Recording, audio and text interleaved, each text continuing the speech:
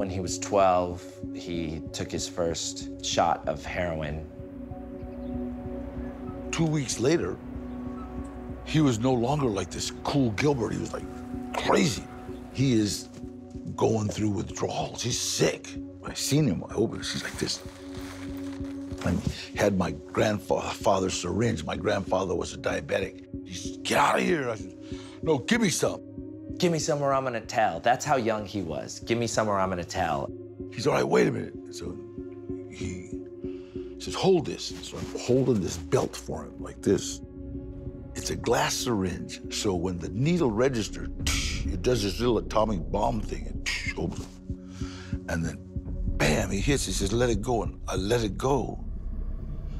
And when I let it go, I seen this whole change come over him from this crazy uh, to this huh, back to that guy that could go to sleep in front of the, the dragon. He gave me a fix, a couple of drops of his cotton, and next thing I remember, I was soaking wet, sitting outside my grandmother's yard, just I'd overdosed. You're not thinking, oh, well, now I don't have to worry about school, I don't have to worry about parents, I don't have to worry about this, nothing. It's just gone.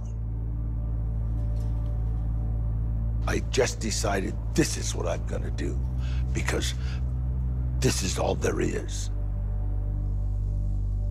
And then all I remember is hearing the ice cream truck and getting some ice cream